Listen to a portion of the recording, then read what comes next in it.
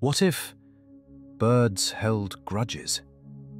Meet the crow, one of the smartest birds on Earth.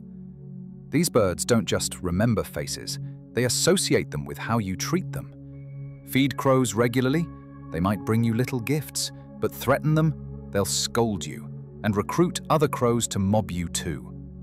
Why? Because crows share intelligence socially. Crows who witnessed the original event, even across families, learn to recognize the same threatening face. And it doesn't stop there.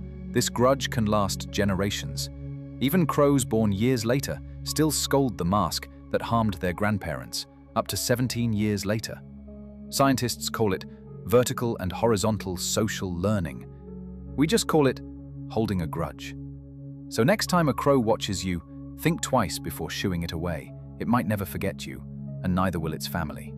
Follow for more tasty bites because